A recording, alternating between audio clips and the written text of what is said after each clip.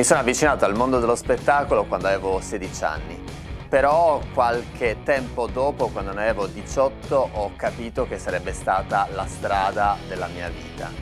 Un percorso che ho iniziato in un paese della Sardegna in cui sono rimasto colpito di come si possano a volte creare delle comunità da persone molto diverse e allo stesso tempo poi andare uniti verso un obiettivo comune che è quello di realizzare uno spettacolo teatrale.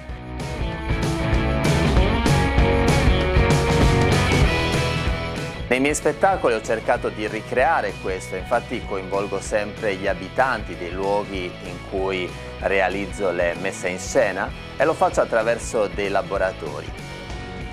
Mescoliamo Phoenix, la Phoenix, da dove vignocono? Eh sì. Cosa? Sei Sakamoto!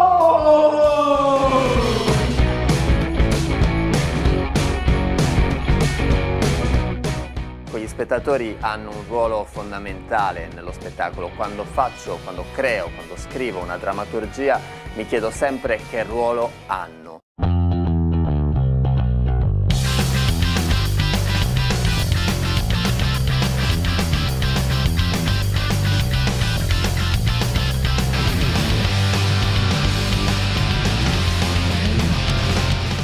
Gli spettatori partecipano alla messa in scena come dei veri protagonisti.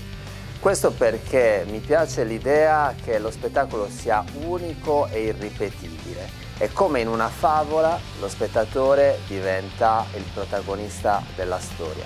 Non vedranno tutto quello che è stato concepito nello spettacolo, ma una parte attraverso un percorso.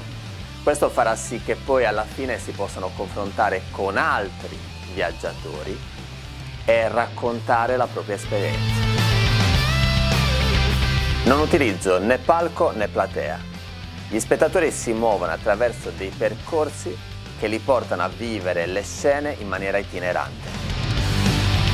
A volte creo dei labirinti, altre volte mi piace utilizzare gli spazi della città in cui vie e piazze diventano le scenografie naturali in cui il pubblico si muove all'interno.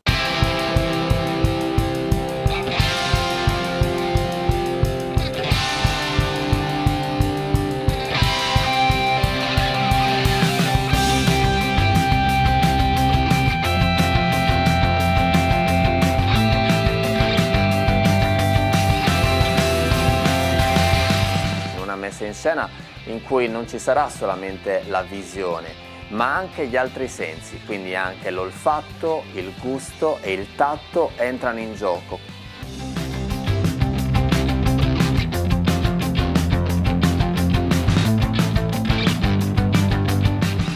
Mi piace unire tutte le discipline artistiche. In questo modo teatro, danza, musica, video e nuove tecnologie si fondono in un unico spettacolo totale.